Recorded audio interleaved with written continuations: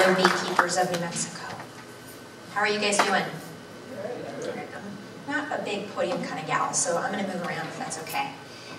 Thank you all so much for the chance to be here with you today. Um, we're here to talk about one of my favorite things to talk about, and that is small business. Uh, I am a small business owner myself.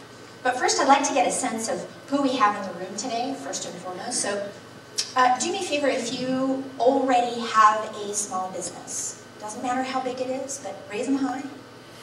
Oh, okay, so we've got a good number. How many folks in here would do not, but would like to start a small business? Okay, excellent. Anybody who doesn't want anything to do with small business? All right, awesome, sir. Thank you for identifying. So, really, um, here's what I uh, will try to bring to the conversation today. Uh, I'm sure that there is a huge amount of collective wisdom uh, that I could uh, extract from this wonderful group of folks who, many of you already have your own business, and so that's good for me to know. I come to the conversation as in a couple of different ways. So um, first, I myself am a business owner. Um, I started the LH Consulting Group. Where we are now about to enter year five, and we are a management consulting and business strategy organization. And we focus primarily on community development. So a lot of our clients are nonprofits, educational institutions, social enterprise organizations. Uh, we're Albuquerque based, but we have a team of consultants across the country and we work nationwide. Before that, I was actually a small business lender. I had the pleasure of working for an organization called Accion that provides uh, microloans and small business support. So I'm curious in the room, uh, who has heard of Accion? Awesome, that's always great. Love to see that. So, nonprofit organization, it's one of several here in uh, Albuquerque, and actually that serves the entire state of New Mexico um, with small business loans and support. Um, so I did that. I was there for about eight years. Uh, and I also have taught. Um, I'm honored to be a Lobo. Lobo. But we love the Aggies too. I know we've got some Aggies, I think, in the room. So we're friends of Aggies, but we are Lobos. Um, so I teach at UNM. I've taught entrepreneurship at the undergraduate level and then um, teach right now in the MBA program, nonprofit management. So I wear a couple different hats and that's how I come to the conversation today.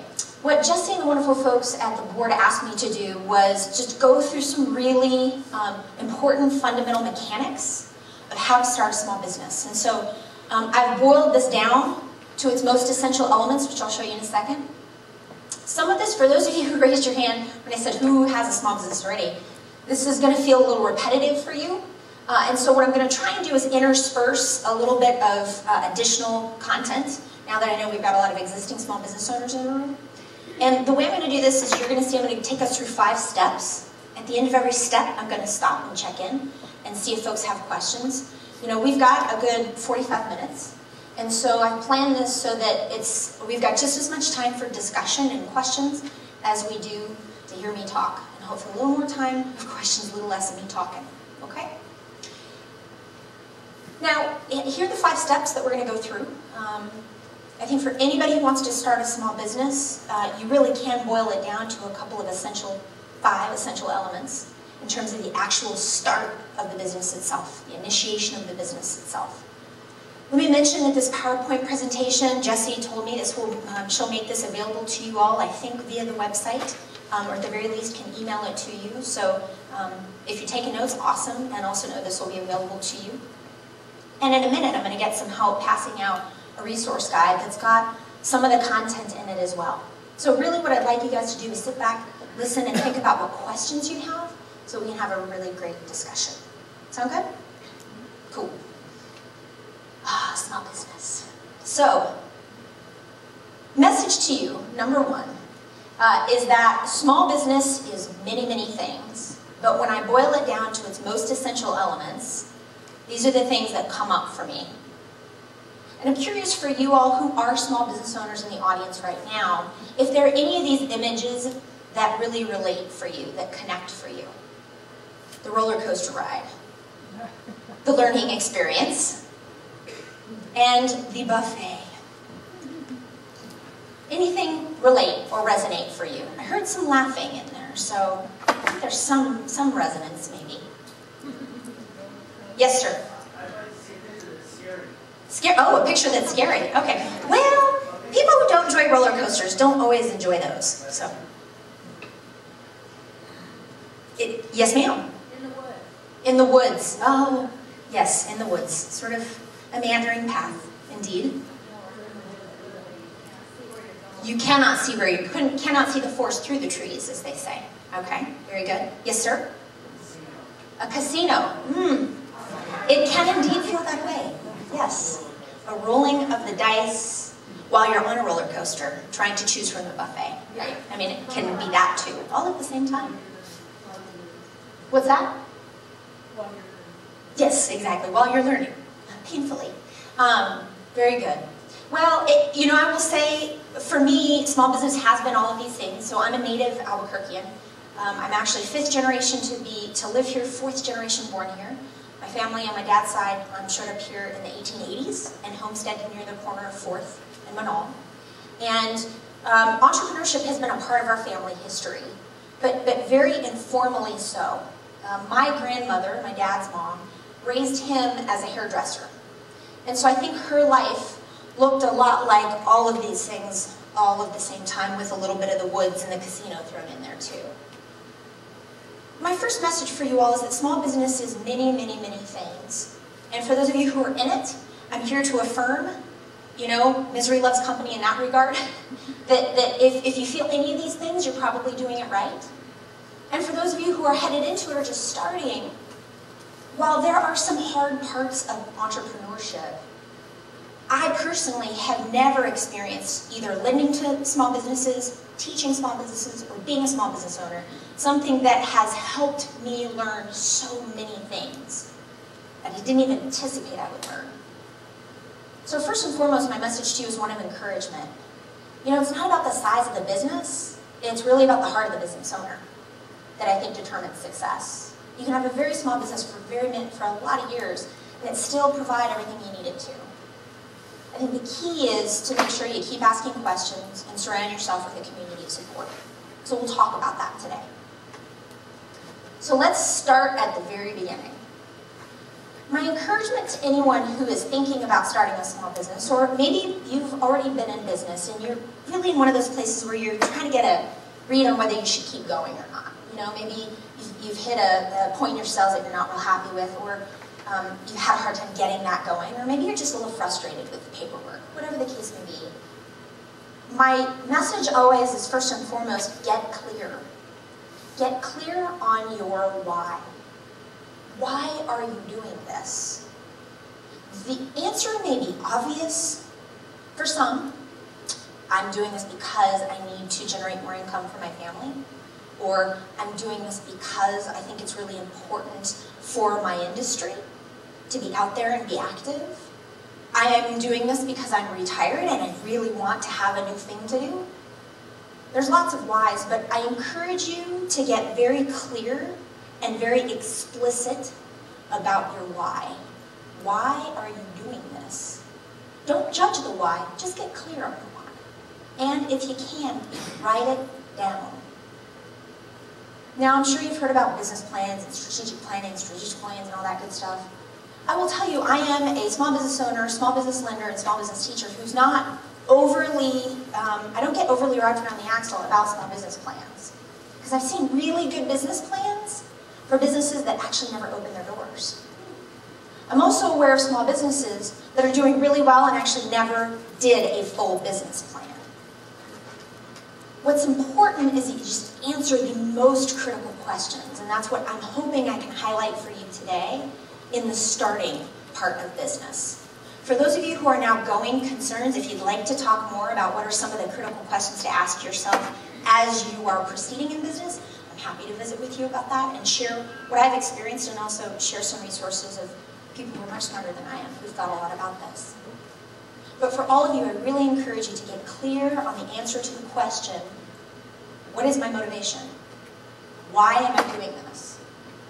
Because it will help you make decisions and create goals for yourself that will let you know if you are where you are in the woods, so to speak. So that's step one. Get clear on the why of what you're doing. Because then once you're clear on the why, you can then proceed to some of the important mechanics. And I always encourage people before they've done anything else, and once they've answered that really important why, why am I doing this, to then get real clear on a couple of goals. And in particular, let's see if this has got a pointy. Ooh, yes it does. Um, this, this idea of a North Star. For me, the notion of a North Star goal is something that should tie to the answer to that first question you asked yourself. So let me give you an example. I'll use me. So when I started LH Consulting Group back in the spring of 2013, I was really clear about a couple of core whys for me. Why number one is I actually wanted to sort of put myself back in that proverbial classroom. Wanted to learn. I'd been doing, working the same organization for about eight years, happily so. And I was really realizing that I was, I was ready to kind of mix it up again. So reason for me, number one, was learning. Reason two is income. So this, this is the sole source of, of the way I pay my bills and support myself. And so I had a couple of very fundamental whys. And third, um, really the mission of the, of the organization was very important to me. Working with communities that are under-resourced and helping with business strategy, management consulting, um, practices that could grow the capacity of organizations that were serving those under-resourced communities was really important to me. So those are my three whys. And then when I get down to goals, I made sure that I had three goals that tied to my three whys. So every year since I opened, I have had a North Star financial goal.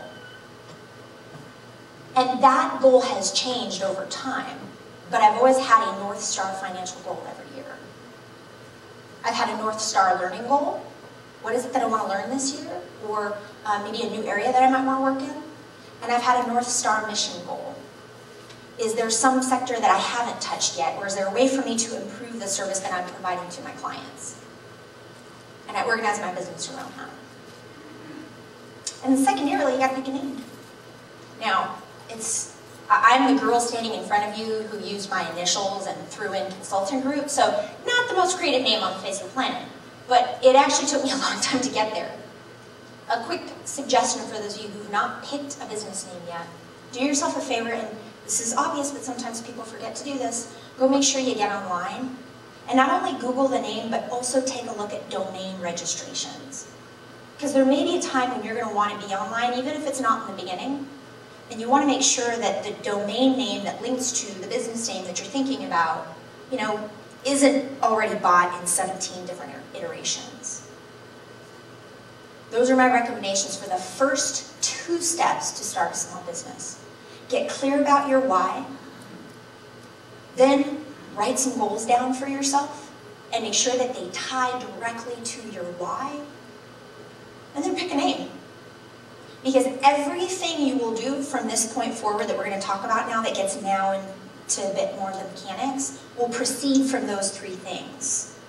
You're going to make all your decisions based on those three things. People are going to ask you, oh, what is your business? And you'll be able to say, even if you haven't registered yet, well, my business, LH Consulting Group, does X. And here are my goals. To be able to tell the story of your business soon and well is really helpful when you're talking to a resource person who we'll talk about in a minute, a lawyer, an accountant, or one of your fellow beekeepers. Really being able to tell that story well, have to say, guys, was I realized a huge part of what uh, helped me do well in the beginning. I happened to be a newspaper reporter um, as by training. That was my first career. Anybody remember the Albuquerque Tribune? It's where I grew up. I grew up in that newsroom at the Albuquerque Tribune. And that was one of the most powerful things that I learned from the wonderful editors and writers who I got to work alongside at the Trib, is the ability to powerfully, compellingly, and clearly tell your story really helps you set down a path so that you don't get too lost in the woods early on. So I'm going to take a quick, quick pause before we go into step three. And again, we're going to start to get into more of the mechanics. And I'm curious if anybody has any questions or any reactions so far to what I've shared, especially those of you all who are already in business. Again, anything here resonate or not resonate for you?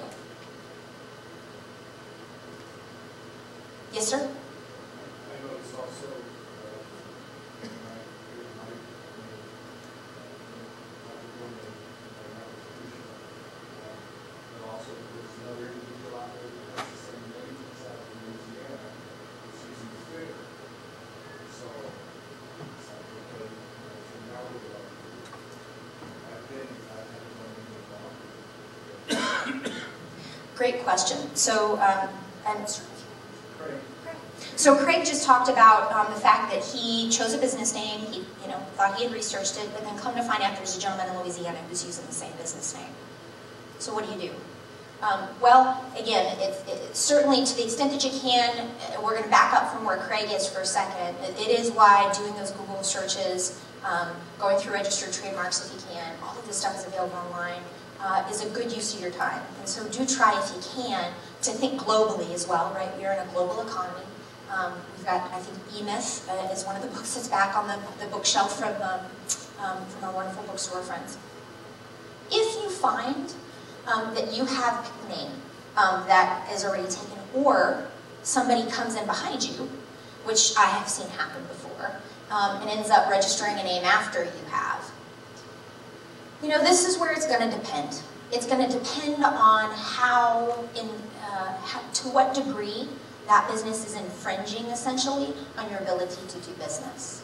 So what folks can do is they can register the trademark that is the business. You could go through that work of actually registering the trademark. And I get a lot of questions about that. I'm not a lawyer, so let me be clear about that. Um, but here's what my lawyer friends and, and folks who I have come speak to my classes about these things, this is what they say.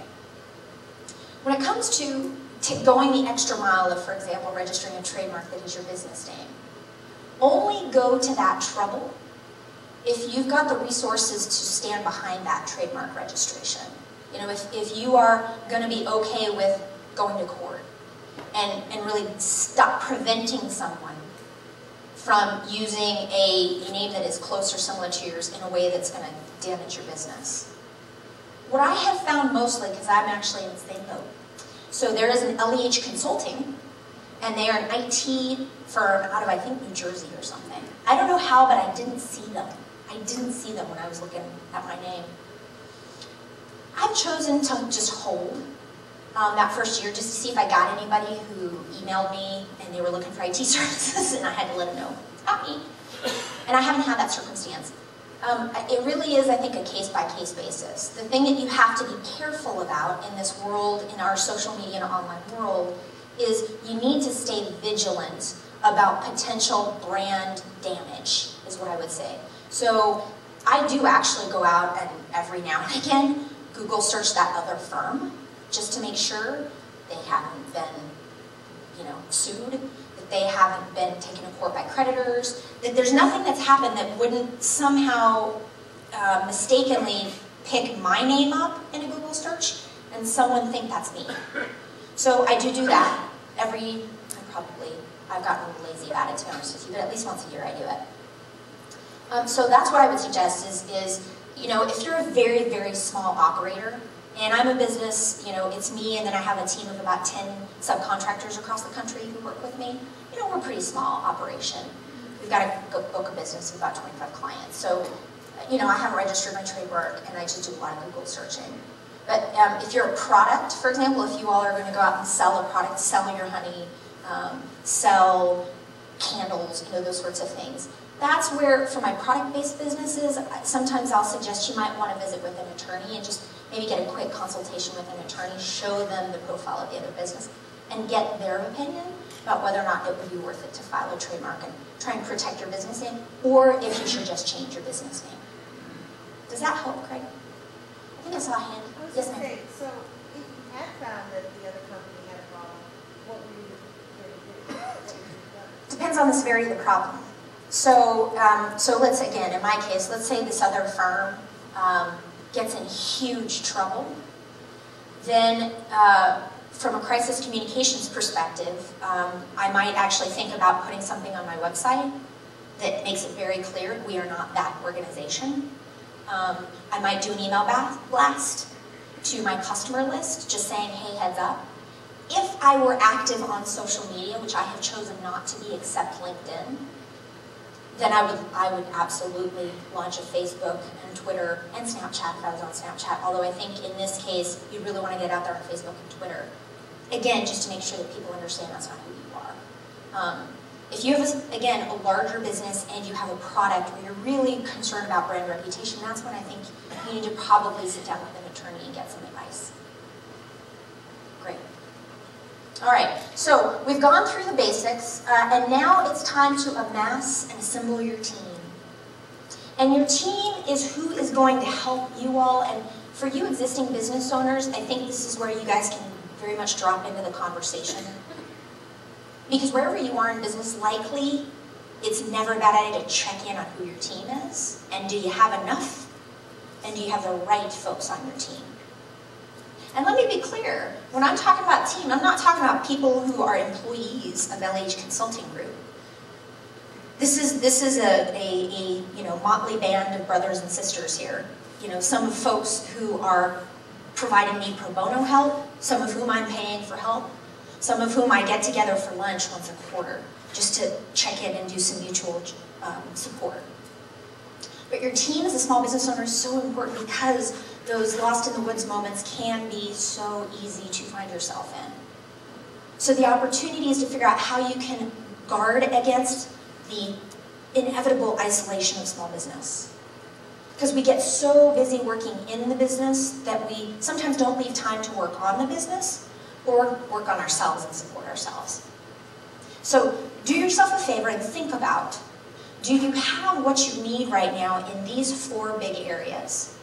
Financial, and that's accounting and bookkeeping, which I'm going to talk about in a second. Those are, those are different and related concepts, and I want to make sure we're clear about them.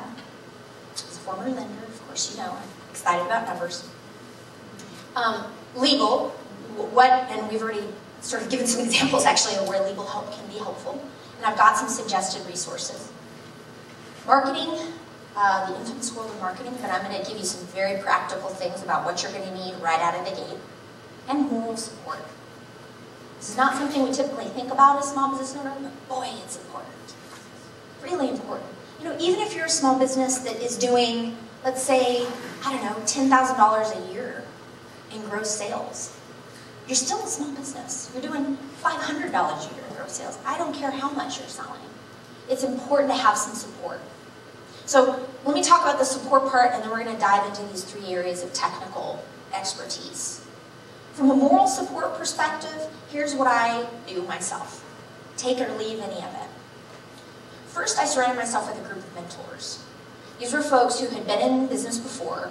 Um, I chose folks who not only had been in consulting, I had a mentor who had been in consulting, but I also chose a couple of mentors who were really good at things that I wasn't good at uh, and was very clear with them about that and said, can we meet for lunch? In one case, it was once a month for six months, and here's the list of things that I'd really like to get your help with as I started this business. I'll buy lunch if you'll give me the, the gift of your time.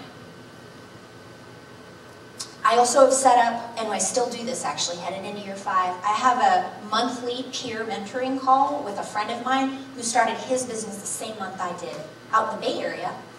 Uh, and it's a different kind of business, but he and I check in and have peer mentoring calls once a month. Just to say, here's what I'm struggling with, here's what I don't know what's, here's, I, I'm in the woods, but I don't know where I am, can you help locate me? It's really helpful. So there's lots of different ways you could go about doing it. I just want to put it on your radar screen that it's a really helpful and important thing to do.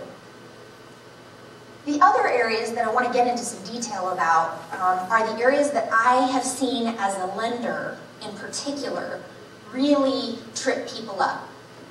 And understandably so. You know, these are typically not things we actually learned in school. Certainly we learned mathematics, and maybe you took an accounting course um, at, at, in a community college or at college, but most of the time it's not stuff we've learned. So my message to you about all three of these areas, don't beat yourself up for stuff you don't know. Just because you go and file a business license does not mean automatically there is some sort of like a gift of wisdom that is now imbued upon you or you magically know all these things. You don't, and you're not expected to. But just get out ahead of these topics and make sure, again, you're surrounding yourself with some people. So from an accounting and a bookkeeping perspective in particular, bookkeeping, when I talk about bookkeeping, I'm talking about your daily, weekly, monthly income and expense tracking. So this is the kind of work that involves reconciling, for example, your bank statement with your receipts. You should do that once a month, every month. Make reconciliation is what accountants call it. And at the end of every month, you should make sure that you know what all of your expenses were for your business and what all of your revenue or income was for your business. And ideally, you're keeping those separate. So, whether you've started or you are thinking about starting, my big recommendation for you on this front, do yourself a favor, open a separate checking account for your business. And if it's a big enough business, open a savings account at the same time and get yourself a credit card. Now you're going to have to register the business first before you do all those things, we're going to talk about how you register in a second. But this can really help in terms of bookkeeping. I have hired a bookkeeper. I already knew going in that I would prefer to spend my time doing client work than keeping track of what I'm spending and, and uh, what I'm bringing in. So I have a bookkeeper who does those monthly reconciliation, big recs for me, and she'll create financial statements for me once a quarter. So I work closely with her. Then I have an accountant. My accountant is the one who, think of him, in this case it's a him, but it could be her, is, is really kind of the, the, the grand poobah of, of keeping an eye on how I'm doing uh, financially. I meet with him twice a year, mid-year to let him know how I'm doing, and then right before tax season so we can get ready to file my tax return. And he does my personal, we'll talk in a minute about what this is, but also my Schedule C, which is a part of my tax, personal tax return for my business. I really encourage you all to seek out, if you're not comfortable with accounting, filing a tax return, or doing the kind of bookkeeping I've just discussed, I really encourage you to think about getting some help there. I can give you some suggestions and referrals for resources in both those regards. The second area is legal. It's worth your time if you are not sure, for example, what kind of legal entity you want to be, and I'm going to tell you what that means in just a second. That's where an attorney can be helpful.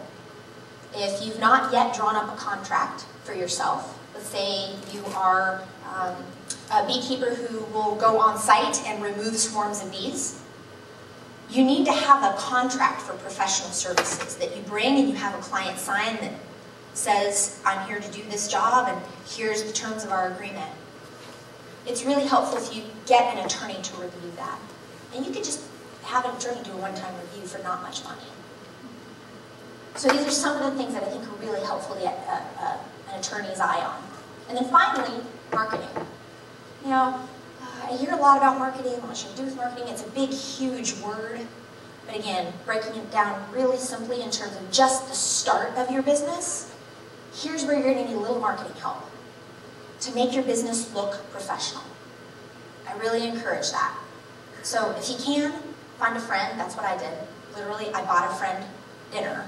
And for dinner, he did my logo, which was my logo for my first two years in business. So create a logo for yourself.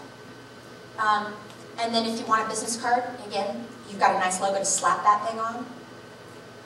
And then maybe you create a nice email signature card for yourself if you do a lot of email. But there are a couple practical things that are helpful when you start to have done right away. Good clear business name, a logo, and something that you're going to be able to provide them, whether it's an email address or it's a business card, something that lets them know who you are. This can also come in handy later down the road if you want to establish an online presence. I didn't create a website for myself first two years of business. I, I didn't need one. I wanted to stay pretty small and I wanted it to be only client referrals and repeat business. But when it was time to build a website, it was really helpful that I already had a group of friends who I had gathered around and let them know they're my marketing gurus. So those are these are the three kinds of resources that I want you all to be cognizant of, in addition to that moral support. Finding some folks who can walk alongside you and share with you your experience as a small business owner. Any questions that anybody has about any of these areas so far? And in a moment, we're going to get into selecting a business entity type. That's where we're headed next. Questions?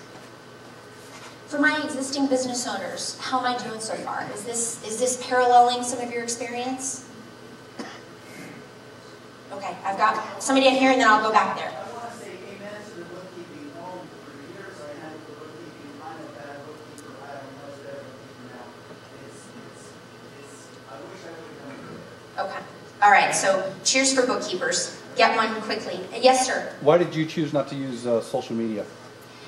It's a great question, um, and it's a long answer. Uh, there were some personal reasons um, for me that I didn't want to be on social media. Um, and, you know, I will tell you it continues to be something I grapple with. I have a LinkedIn, a LinkedIn profile that's been very helpful and important, that's allowed me to be out there. And now that I've got the website, it's very helpful. You know, it's, it, it's something I still struggle with because, you know, personally for me, it's, it's just not a um, environment that I'm real interested in participating in, but I recognize how important it is for some of my clients. Good question. We'll take one more and then we'll move. That answer you just gave, I used to work for a digital marketing agency in Phoenix. Yes, sir. If you're not social, you're not going to do it. If you, if you have to be social on a Facebook page or a Twitter page, you have to have that inclination or have some helper, mentor, or someone to help you do it. Because that's how it happens. You have to, it has to be active and moving or just die. No, it's a great point. You know, you really have to want that sort of thing. Interestingly enough, I'm kind of a, I'm a social person. And not all Um, businesses are entirely, you know, geared to that, you know. Right. Like I don't need to see certain things on my Facebook page. That's it. For me, it was, um, it didn't, it wasn't as necessary for the kind of business I was in. I was frankly also concerned about the resources. It was just me for the first couple of years, and I was concerned about not having enough time or resources to do exactly, sir, what you just talked about. Yeah. To do social media well means you need to really stay on top of it. And I just frankly knew I wasn't going to have the juice to do it, honestly. I don't know if that's a great answer, but it's an honest answer. I just didn't care enough. Yes, ma'am. Well, there is, there's personal Facebook and then there's also organizational Facebook.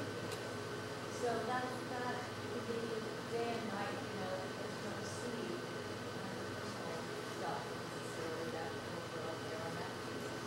Uh, or some people are, Absolutely, an excellent point. Again, she, she highlighted make sure, to make sure we understand there's ways to show up on social media as a business, only as a business, using things like Facebook Business and other media. Um, and then there's the personal opportunity. So, excellent point. Thank you. So just a quick highlight in terms of, of some of the resources that are out there for you all. I want to highlight these two resources, and I've actually brought a couple of rack cards. Um, when I break, um, we'll give you a second to come pick these up. But um, there are rack cards here. Um, if you need some help on the on the you know business planning side, I think both WESST and the SBDC are really great resources. Um, they have classes, courses, and one-on-one consulting. From a legal perspective, I actually want you all to know that UNM School of Law has a business and tax law clinic that they provide um, law student, law students staff it, and you can get some legal support for a very reduced fee. There is an income qualification, but you can get legal resources uh, as a business owner from uh, second year law students. Uh, at Accion, we partnered with them, they do a great job. And then finally, um, on the marketing side, I get this question a lot, like where should I go if I need a graphic designer or somebody to help me with the design piece? Um, we've got a local uh, chapter at the Professional Association for Design. They're a good place to go start and just ask for a membership list from them. And you can often find, oftentimes find a pretty low-cost graphic designer. They also help to help be happy to uh, help with that, you some names. All right, from an entity type, we're going to go through steps four and five uh, quickly here and just check in if there are any final questions. So you've got a lot of, you've got five choices. It's a lot to me, I guess. Um, you've got five choices when it comes to the legal entity type that you're going to choose. For the sake of time, I'm just going to highlight two, because this is probably where you all are going to fit. I, for example, that's me right there. So I picked a single member LLC. Um, here's what you need to know. If you are somebody who is really not interested in any process whatsoever, you are also not concerned about there being a difference in the eyes of the law between you and your business, and you want to keep it as simple as possible, you are a sole proprietor. You actually don't even have to do anything. You are a sole proprietor sort of by default. There are still some things you're going to have to do to register the business, but that's essentially what a sole proprietor is. You use your social security number, for example, as also your um, uh, like your W-9 forms if you're doing subcontractor work. It's the easiest and most simple. It is also, from a legal perspective, the highest risk because there is no separation in the eyes of the law between you and your business type. You are the same thing. You and your business are one. As an LLC, it creates a line in the sand legally, which is why I chose it, but it's still not too complicated. All you have to do is go file what are called articles of organization up with the state. I'll talk about that in a second. But in the eyes of the law, there is a separation between you and the business. Now, the good news is there aren't a whole lot of extras that you have to do as an LLC. So, on step five, registering, here's again really the highlights of what you need to do. As you're going to see in particular from a tax perspective, um, you know, if you are um, a sole proprietor or an LLC, you're going to file what's called a Schedule C on your personal tax return. Again, I get an accountant to help me with that. But it's pretty simple. You don't have to file a corporate tax return, which you do have to file if you're an S Corp or a C Corp. So for a lot of you in the room, I think you're probably going to follow into one of these two buckets. You know, if you were a small home-based business, or maybe even you worked out of one of the incubators or accelerators here in town. For me, the single member LLC has, has worked really well for me. Um, I, I, haven't needed to, to change into uh, a corporate structure yet. It's just not needed. But here are the things, these, and this is the last set of mechanics I'm going to go through and then see if there are any last questions. This is it, guys. This is literally the steps you need to take next. So if you're thinking about small business and you're in the Albuquerque area, apologies to Las Cruces, but I've got some guides that give you where to go. Um, and anybody from any other parts of the state. But let's say you're a business owner here. Same applies City of Las Cruces rather than City of Albuquerque. You're going to go down to the city. You're going to act, you don't even have to. Get online, pay 35 bucks. You get a business license. They will send to you in the mail. Um, if you're an LLC or a corporation, but most of us are going to be LLCs, you're going to get online. You're going to go to the Secretary of State's office website. There, they make it super clear for you. They even have a template of the stuff you got to fill out. You fill those things out. They have instructions about how to fill them out. You ship it off online and you pay 50 bucks if you're an LLC. Or if you want to actually expedite it, you can go up to Santa Fe and do same day registration for 150 bucks. Then on the tax side, there's just a couple of things you're going to have to do. You're just going to, I recommend, even if you're a sole proprietor, to get an employee identification number. It's just another number that you use rather than your social security number on tax documents for your business. That I think is important because in this uh, era of identity theft, I think it's really important to protect our social security numbers. Again, this is no cost. You can do online and they will, they will automatically generate an EIN for you there on the spot. The other thing you need to do is you're going to need to register with the state on the tax side because you're going to need to pay gross receipts taxes. That's our sales tax here in New Mexico. So if you're selling anything here in the state, um, within the state, you're going to have to pay gross receipts taxes. How often you pay those taxes is going to depend on how much business you're doing. You may have to pay monthly, like I do. You may have to only pay every six months, or you may have to pay once a year. Again, you'll see on the website, it shows you what the frequency is. But guys, that's it. That's really it in terms of how you start a business. It's those five steps. Get clear about your why. Make sure you put some goals down on paper that tie to your why. Get yourself a name, put your team together, and then register. That's it. So, I know we're right at time, so I want to make sure that I keep, keep you guys moving as needed. Um, so why don't we do this? Given what time it is. I'm going to hang out here. If anybody has any questions, please let me know. I'm going to take these things just so that we don't disturb. Um, I'm going to take these things back to the back, but I want you all to know, these in particular, I want you all to make sure you grab one. This is an SBA